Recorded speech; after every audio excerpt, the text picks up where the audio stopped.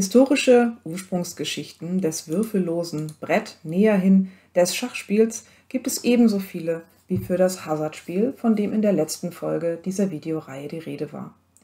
Geografisch werden sie mal nach Griechenland, in Babylon, in China, Indien, Persien und Arabien verordnet. Nicht nur Herodot, der den Lydern die Erfindung aller Spiele zutraute, außer jenen auf dem Brett, ohne sie freilich gleichzeitig den Griechen anzudichten, sah einen wesentlichen Unterschied zwischen Glücks- und Geschicklichkeitsspielen auf der einen und Brettspielen auf der anderen Seite. Die Differenz ist für HistorikerInnen zunächst entsprechend chronologisch aber auch betreffs ihrer gesellschaftlichen Funktionalisierung, der sozialen Geltung und ethischen Beurteilung lassen bereits die frühesten Erzählungen vom Ursprung der Spiele wesentliche Unterschiede erkennen. Dienten Würfel und Beispiele bei Herodot und anderen der lustvollen und/oder therapeutischen Entlastung von den Beschwernissen des Lebens oder gar des Todes, was wollte man den Spielern Böses eben genau diesen herbeiführte, steht zumeist neben der eher sekundären Unterhaltung die Rolle des Brettspiels für die Erziehung zu Vernunft, Weisheit und moralischen Werten sowie Strategien der praktischen Herrschaftsausübung der gesellschaftlichen Oberschicht im Zentrum der Ursprungsmythen. Im Grunde also, Herodot bildet eine bemerkenswerte Ausnahme in deutlichem Kontrast zu den Alea-Spielen. Obwohl die frühesten Quellen des Brettspiels aus Arabien stammen, verlegen diese den Ursprung des Spiels einhellig nach Indien. Aus Indien sind allerdings aus der gleichen Zeit keine Belege zu finden, auch die Archäologie hat weder Bretter noch Spielsteine nachzuweisen und die klassischen Schriften der Brahmanen schweigen sich aus. Eine Figur eines Elefantenreiters, der in Paris aufbewahrt wird, wird bisweilen als Königsfigur eines frühen indischen Schachspiels identifiziert da sie Ähnlichkeit mit jüngeren Schachsets aus anderen Regionen aufweist. Allerdings ist sie sehr groß und schwer, an praktisches Spielen ist kaum zu denken. Von den anderen Figuren fehlt jede Spur. Erste Hinweise in genuin indischen Quellen sind erst aus dem 17. Jahrhundert überliefert und bestätigen die viel frühere Erfindung in Indien nicht. Die älteste und auch im deutschen Mittelalter bekannteste Erzählung von der Erfindung des Schachspiels stammt aus arabischen Quellen und führen eben nach Indien in das mythische Königreich Shishrams, das für seine Tyrannei bekannt war. Um den Herrscher in taktvoller Weise auf seine Verfehlungen aufmerksam zu machen, erfand der weise Brahmane Sissa ibn Dahir das Chaturanga, die mutmaßliche Urform des Schach. Chaturanga ist eigentlich ein Begriff, der die indische Heeresordnung bezeichnet. Diese ist im Sanskrit-Epos Mahabharata beschrieben und aus der Zeit zwischen 400 v. Chr. und 400 nach Christus. Von einem Spiel ist dort allerdings nicht die Rede. Vermutlich handelt es sich aber ursprünglich um ein Modell der Heeresaufstellung. Möglicherweise wurde auch mit Figuren verschiedene Heerestaktiken simuliert. Von einem Spiel im engeren Sinne wird erst in eben jenen arabischen Quellen gesprochen. Bei dem Spiel, so der Plan des Erfinders, soll im Spielverlauf unter Beweis gestellt werden, dass der König, trotz er die wichtigste Figur des Spiels ist, nichts ohne seine Untertanen ausrichten kann. Shishram gefiel das Spiel. Es unterhielt ihn ausgezeichnet und machte ihn sogar milder gegenüber seinem Volk. Zum Dank wollte er Sissa einen Wunsch erfüllen, was immer es auch sei. Dieser verlangte nichts Geringeres als ein Weizenkorn und seine jeweils exponentielle Verdoppelung nach der Anzahl aller Schachfelder. Die vermeintliche Bescheidenheit kränkte den König angesichts seines großzügigen Angebots zutiefst und mobilisierte erneut sein aufbrausendes und grausames Wesen. Er ließ Sissa in Ketten legen und das Todesurteil sprechen. Kurz vor der Hinrichtung aber hatten Sisrams Shishrams Mathematiker endlich errechnet, dass die Summe rund 18,45 Trillionen Weizenkörner ergab. Der König, voller Bewunderung und Amüsement ob Sissas Gerissenheit, begnadigte ihn und machte ihn kurzerhand zu einem Berater. Fortan regierte er mit Weisheit und kluger Erwähnung. Seine erste vernünftige Entscheidung soll dann auch gewesen sein, Sissa nur so viele Weizenkörner zugestehen, wie er zählen konnte. Einer jüdischen Legende nach ist Salomo der Erfinder des Schachspiels, den deshalb und weil er König war, niemand besiegen könnte. In ihm fließen singuläre Weisheit und Königtum bereits zusammen. Seine Prädestination zum Schachsieg ist also doppelt providentiell. Als er eines Tages wie so oft mit seinem Berater Benaja spielte, ließ sich Salomo von einem Streit auf der Straße ablenken, so dass es Benaja gelang, einen Stein des Königs vom Brett zu entfernen. Daraufhin verlor Salomo das allererste Mal. Schwer verdrossen die Partie und ungläubig seine Weisheit verloren zu haben, stellte der König die Partie nach und findet die Wahrheit heraus. Anstatt seinen Berater zur Rede zu stellen, wendet er eine List an, um ihn selbst zum Geständnis zu zwingen. Dafür überredet er, selbst in ein Dienerkleid gehüllt, zwei Diebe in den Palast zu kommen und die Edelsteine des Königs zu stehlen. Als diese dem verlockenden Angebot nachkommen, schließt Salomo die Diebe ein und ruft am anderen Morgen den Gerichtshof zusammen. Ihr wahrheitsliebenden, gesetzesurkundigen Männer, sagt an, wie soll ein Dieb bestraft werden, der bei der Tat ertappt worden ist und noch dazu ein Dieb, der den König bestohlen hat. Daraufhin glaubt Benaja, es sei von ihm die Rede und gesteht, beim Schachspiel betrogen zu haben. Ihm wird verziehen und die eingeschlossenen Edelsteindieme werden zum Tode durch den Strang verurteilt. Die sogenannte Weizenkorn-Legende um den indischen Schacherfinder Sissen ibn Dahir, wie der arabische Dichter al-Sapadi sie erzählt und von der unterschiedliche Quellen mehrere im Detail abweichende Versionen überliefern, mag als ältestes Anwendungsbeispiel von Schachmathematik und als Geburtsurkunde der Exponentialfunktion gelten. Auch in der Rezeption der Legende gelten zunächst solche Aspekte als besonders erwähnenswert, die weniger auf die eigentliche Spielhandlung und den daraus sich ergebenden materiellen und/oder immateriellen Gewinn abzielen, sondern mit der Auslegung der unvorstellbaren und unzählbaren Summe von Weizenkörnern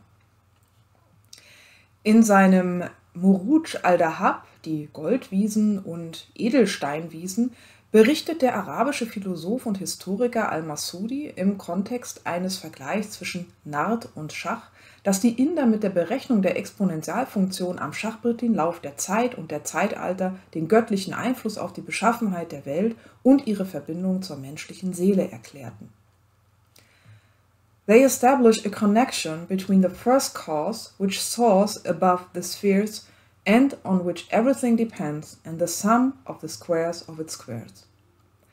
In einem späteren Kommentar fügt al-Masudi außerdem hinzu, dass der Erfinder des Schachspiels an den freien Willen glaubte, während der Erfinder von Nard ein Fatalist gewesen sei, der mit dem Spiel beweisen wollte, dass der Mensch nichts gegen sein Schicksal auszurichten vermag und dass es wahrlich weise ist, das eigene Leben in Übereinkunft mit den Entscheidungen des Zufalls zu gestalten. Ibn Shalikan, arabischer Biograf und Rechtsgelehrter, erläuterte in seinem Werk das Ableben bedeutender Persönlichkeiten und die Nachrichten über die Söhne der Zeit die Legende von Sissa dahingehend, dass Shishram das Spiel als das hervorragendste Mittel zur Verehrung der Religion und der ganzen Welt als Grundlage der Gerechtigkeit sowie für die Einübung in die Kriegskunst angesehen habe. Letztere Zuschreibung ist Thema einer anderen, ebenso weit verbreiteten und bis ins europäische Mittelalter allseits bekannten Ursprungslegende, in der das Schachspiel zur Ablenkung für einen vom Krieg regelrecht besessenen indischen König erfunden worden sein soll. Da er aber bereits alle Völker unterworfen hatte und keinen Gegner mehr fand, gegen den er hätte kämpfen können, wurde er krank vor Langeweile. Ein Philosoph, in manchen Quellen ist es wieder Sissen ibn Dahir, in anderen bleibt er namenlos, lehrte den deprimierten König, wie er in Ermangelung echter Feinde auf dem Schachbrett trotzdem Macht ausüben und Kriegstaktiken ersinnen konnte. Den impliziten Befriedungsgedanken fokussiert eine andere, wahrscheinlich noch vormohammedanische Quelle, in der das Spiel von einem indischen König gerade deshalb erfunden worden sei, damit die anderen Monarchen ihre Streitigkeiten auf dem Brett ausfechten konnten, anstatt Blut zu vergießen. Die Funktionalisierung des Brettspiels als Kriegssimulation und Trainingsmittel kennen ähnliche Quellen, die Schach als Lehrmittel für junge Prinzen ansehen, die aufgrund eines Mangels an praktischer Erfahrung ein Kompetenzdefizit als Heerführer fürchten mussten. Deutsche Autoren vor dem 13. Jahrhundert verordneten die Herkunft des Schachspiels in der Regel nach Griechenland, vor die Tore Trojas. Wahrscheinlich vermittelt durch die Legende der mythische Trojakämpfer Palamedes, dem die antiken Autoren unter anderem ja auch die Erfindung der Würfel zugeschrieben hatten. Dieser hätte nach europäischer Vorstellung auch das Brettspiel erdacht, das als Schach das einzige nicht mit Würfeln gespielte Spiel auf einem Brett, welches man im deutschen Sprachraum kannte, missverstanden wurde. Die mittelhochdeutschen Autoren kennen zwar den Mythos der Erfindung der Spiele vor Troja, der Name Palamedes fällt in diesem Zusammenhang allerdings nirgends, obwohl die Figur selbst aber hinlänglich bekannt war, wahrscheinlich aus den verlorenen Epen des sogenannten epischen Kyklos im Umkreis von Homers Elias und Odyssee. In der Fortsetzung von Konrads von Würzburg Trojanerkrieg ist der Erfinder Nisus, der Freund des Euralius, und Begleiter des Aeneas. Beide Figuren gehen auf Vergils Aeneas zurück, wo sie im fünften Buch zunächst als herausragende Wettläufer eingeführt werden. Später treten sie als Torwächter Trojas auf, die die Burg gegen den Angriff von Turnus und der Rotula verteidigen. Insbesondere Nisus wird von Vergil als hervorragender Speerkämpfer, Bogenschütze und mutiger Krieger charakterisiert. Die Verbindung von Schachspiel zum Schachspiel scheint der anonyme ähm, Fortsetzer selbst auf Grundlage des Palamedes-Mythos gezogen zu haben. Dieser solle das Brettspiel ja angeblich vor den Toren Trojas während seiner Belagerung erdacht haben. Varro, Varro Atakinus wusste darüber hinaus in seinen Argonautika zu erzählen, dass durch das Brettspiel die Unruhen des müßigen Heeres gedämpft worden seien. Noch Polemon sei vor Troja sogar noch der Stein auffindbar gewesen, auf dem die Griechen das Spiel getrieben hätten. Manche antiken Autoren sehen in diesem Palamedes von Euboea auch den Schöpfer der Anordnung des Heeres und der Schlachtenreihe.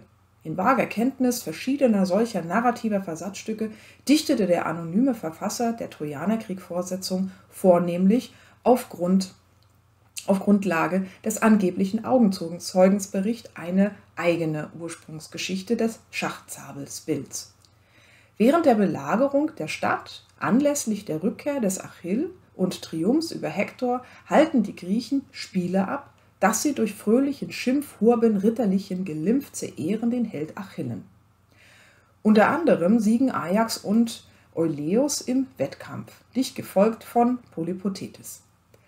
Nicht also Euralius, dem Nisus zum Sieg verhalf, wie Vergil erzählt. Stattdessen, do ward auch Schachzabel erdacht und ward auch für die Herren bracht und der dieselben Listen fand, der was Nisus genannt, ein Hell an Künsten Us erwählt. Derselbe künstereiche Held, der die Kunst erdachte und das Spiel durch den Krieg, der allzu zill unter in mit Urlüge was. Us den Urlügen erlass beide Lage und es Dried, und dazu stritigliche Nied und all die fiendlichen Sitte, die den Urlügen wonnet Mitte, das noch bezeichnet das Spiel.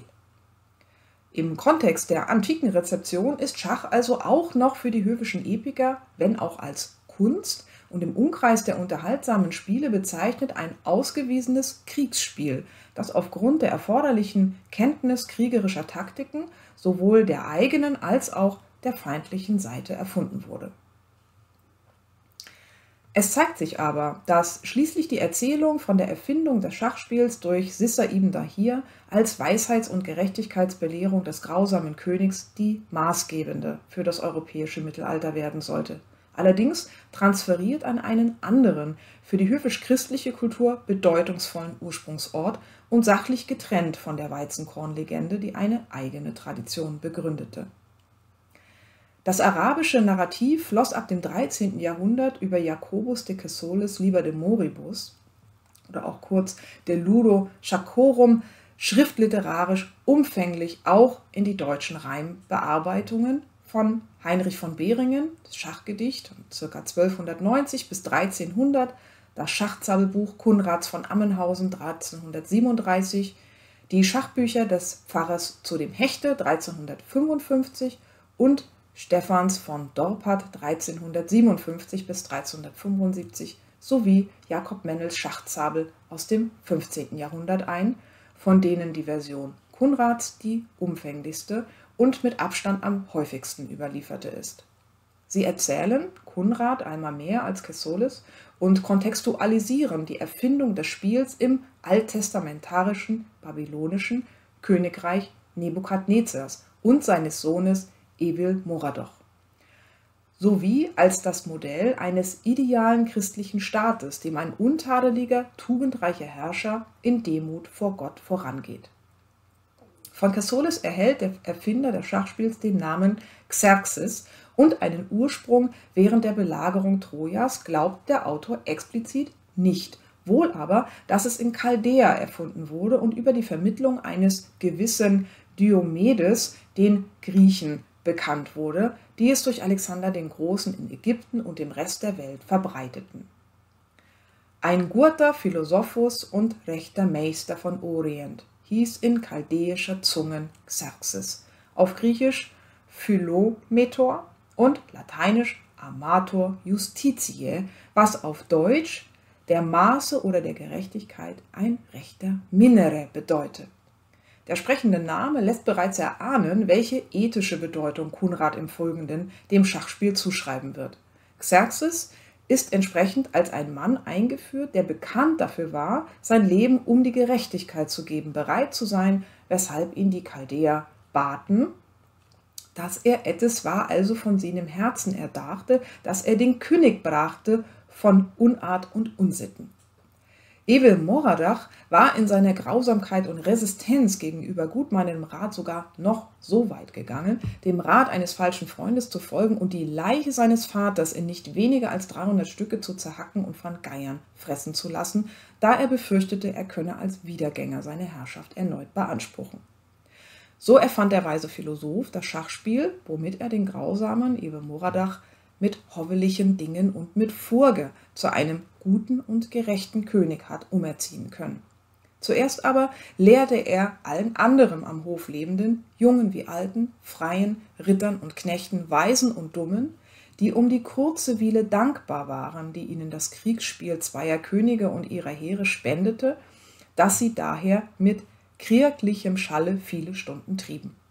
Dadurch wird auch der König, der sich sonst von niemandem beraten oder gar strafen ließ, auf das Spiel aufmerksam und bittet Xerxes um Unterweisung. Der antwortet ihm, er werde ihn gern zum Meister ausbilden, wenn der König bereit wäre, mit Züchten und mit Sänftigkeit diamürtig sein Schüler zu sein und zu lernen, was einem König geziemt. Überraschenderweise findet der sonst so renitente Ewe Moradach diesen Vorschlag gefürge und harte billig.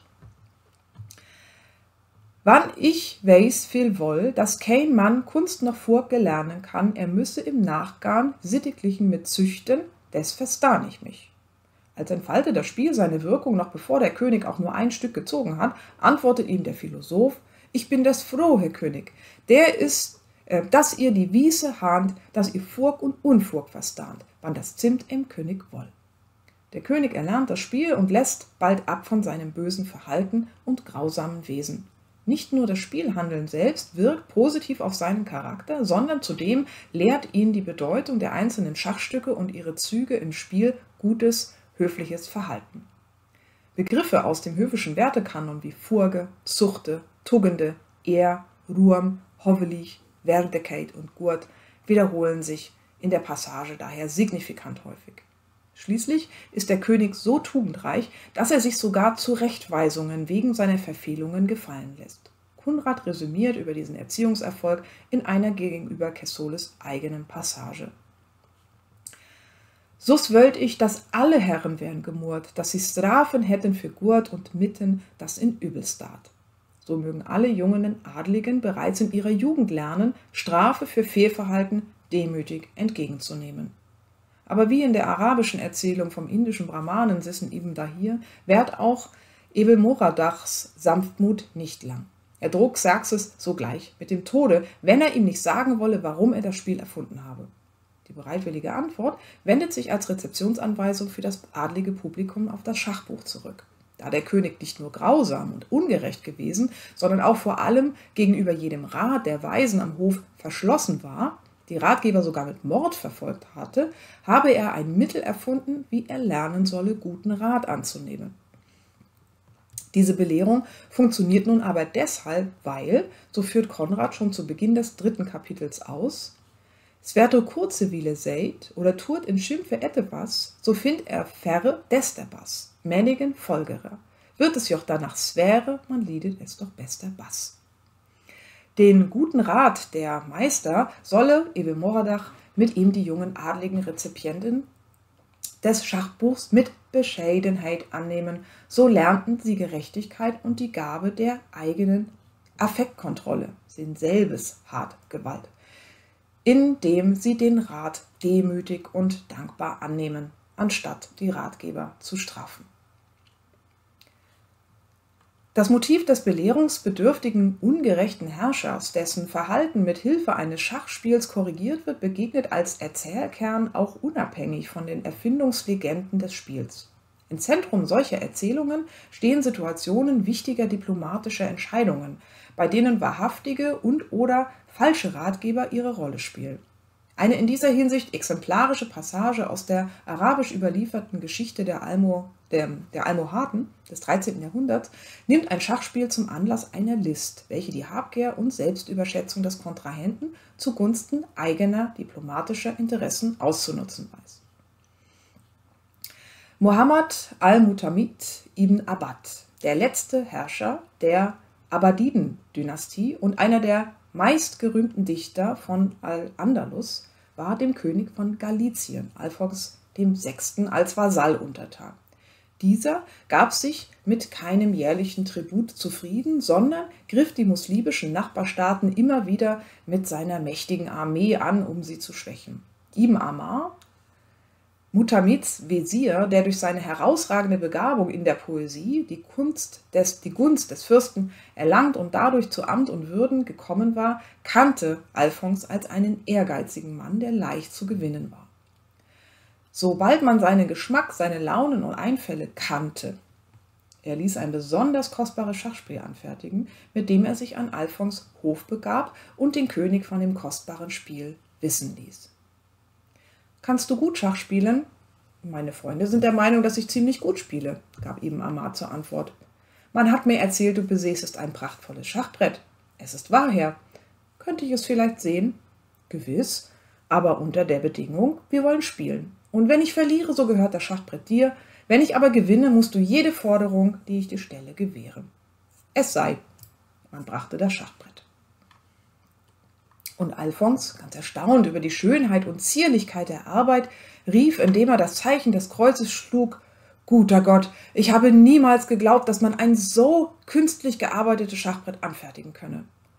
Als er es zur Genüge bewundert hatte, fuhr er fort, äh, was sagtest du noch, Herr, welches waren die Bedingungen?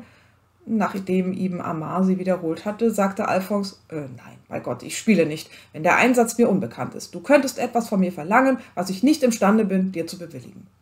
Wie du willst, Herr, erwiderte Ibn Ammar kalt und befahl seinen Dienern, das Schachbrett in sein Zelt zurückzubringen. Natürlich gab Ibn Ammar nicht so leicht auf und bestach im Folgenden eine Reihe von Alphons Vertrauten, wenn sie ihn dazu überreden wollten, sein Blankoversprechen für seine Forderung zu geben, die Attacken auf die arabischen Vasallen in Zukunft zu unterlassen. Wenn du gewinnst, Herr, wirst du ein Schachbrett besitzen, um das jeder König dich beneiden muss. Und solltest du verlieren, was könnte dann dieser Araber von dir verlangen? Wenn er eine so unbescheidene Bitte tut, sind wir dann nicht da, um ihm Vernunft zu beizubringen? So, so willigte Alphons in ein Spiel unter ihm Amars Bedingung ein, der, um die Sache regelrecht zu betreiben, sich unter den von ihm bestochenen Verrätern des Königs einige Zeugen für den so geschlossenen Vertrag auswählt. Natürlich verliert Alphons die Partie, woraufhin der arabische Visier seine Forderung formuliert. Alphons erblasst und überlegt hin und her, wie er aus dem Dilemma entrinnen könne. Schließlich weigert er sich schlicht die die Forderung zu erfüllen. Was geht mich denn am Ende seine Bedingung an? Ich kehre mich nicht im geringsten daran und werde meinen Weg verfolgen. Die Verräter allerdings erinnern Alphons an den Vertrag, den er mit seinem Blankoversprechen eingegangen war und für den sie selbst als Zeugen fungierten, mit den Worten Herr, das hieße die Ehre verletzen, das hieße das gegebene Wort brechen. Du, der größte König der Christenheit, bist nicht imstande, etwas derartiges zu tun. Schließlich willigt Alphons ein, die Überfälle einzustellen. Den Konsensvorschlag, dafür im aktuellen Jahr den doppelten Tribut zu erhalten, nimmt Ibn Ammar an und beeilt sich, das Geld umgehend zuzustellen. Über die Wahrhaftigkeit oder Falschheit der involvierten Ratgeber ist auf beiden Seiten nicht leicht zu entscheiden. Zunächst einmal, schließlich handelt es sich ja um eine islamische Quelle, ist der christliche Herrscher der Ungerechte, kriegerische Tyrann, demgegenüber der heidnische König als weiser Dichter auftritt, der einen ebenso weisen, in der Dichtkunst ebenso wie im Schachspiel talentierten und für seine diplomatischen Zwecke über das Wesen des Feindes bestens unterrichteten Ratgeber zur Seite hat.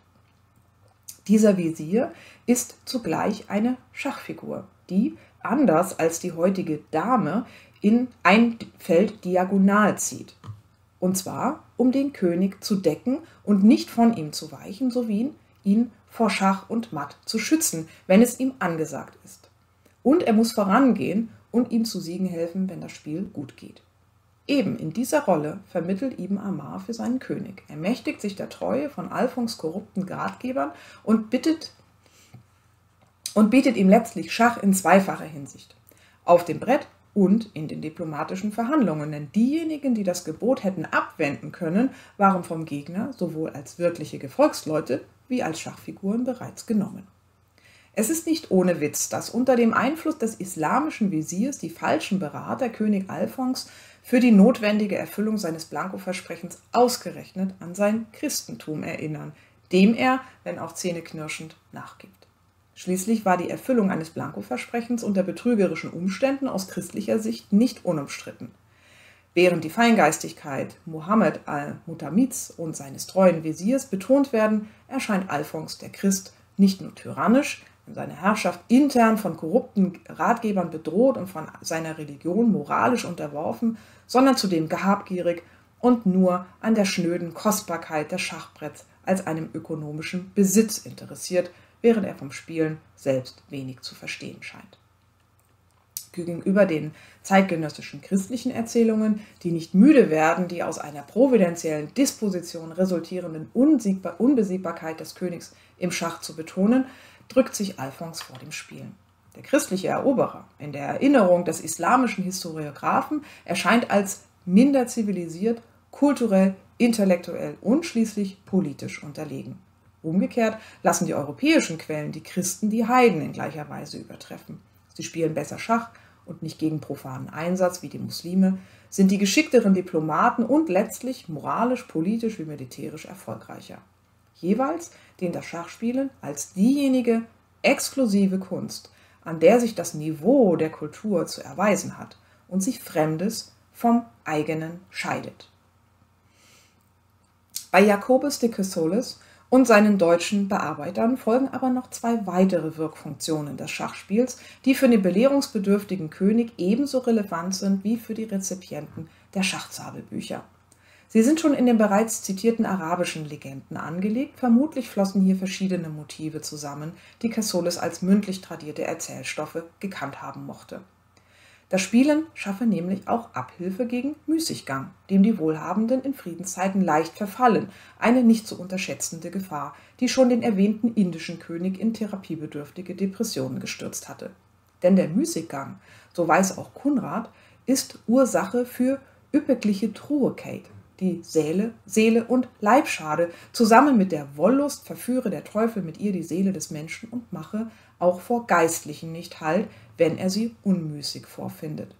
Das assertive Verständnis einer Stelle aus Ovids Remedia Amoris verurteilt den Müßiggang als Ursache für Gotteslästerei und Unkeuschheit.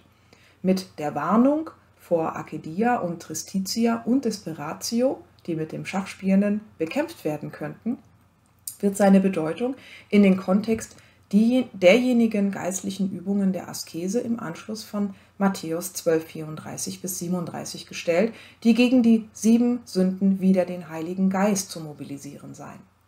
Die Desperatio, nach Thomas von Aquin, eine der sechs Töchter der Arcadia, versündigte sich demnach gegen die Hoffnung und den Glauben an die Erlösung, die keine Verzeihung vor Gott finde. Wie Arcadia und Tristitia sei sie eine Waffe des Teufels und Einfallstor der Gottesentfremdung. Der dritte Grund für die Erfindung des Schachs gibt Kunrad mit dem natürlichen Wissensdurst des Menschen an, der allzeit nach Weisheit strebt. In dem Spiel seien verborgen Togen manniglich hoffentlich List, weshalb jeder, der das Spiel bis ins Letzte ergründen und verstehen wolle, sinneriech gedenke und klurk sein müsse. Das notwendige Wissen und die geheimen Bedeutungen zu vermitteln ist nun Aufgabe und Inhalt des Schachbuchs. Es tritt in die Position des weisen Philosophen und Ratgebers der mythischen Ursprungslegende, wird zum Medium der Belehrung junger Adliger, Waffe gegen die Übergriffe des Teufels und bei demütiger Annahme der erteilten Ratschläge zum Garant individuellen Seelenheils.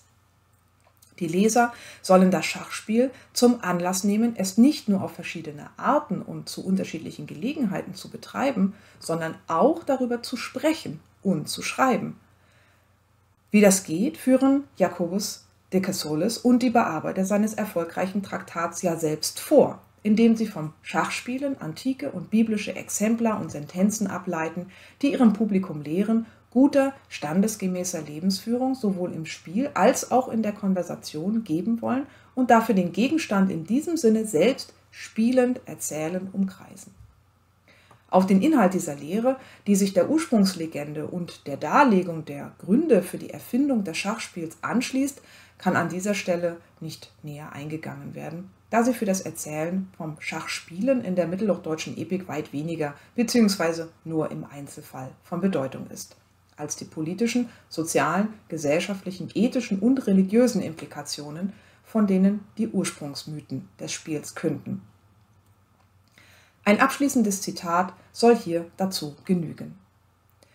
Ihnen ist ein grundsätzliches Formungsprinzip gemein, das verschiedene Sozial- und Berufsgruppen auf die Figuren einer Partei eines Schachspiels aufteilt, diesen Figuren dann Normvorgaben zuschreibt und schließlich diesen Wertbegriffen einzelne Sentenzen und Exempel zur Verdeutlichung beifügt. Im Kern Exempelsammlungen und mithin in ihrem symbolischen Verfahren der Normvermittlung anderen Sammlungen an die Seite zu stellen, bedienen sich die Schachzabelbücher gleichzeitig einer ausgefeilten, sie insgesamt prägenden Gesellschaftsmetapher. Folglich wirken symbolische Komponenten in ihnen gleich auf mehreren Ebenen.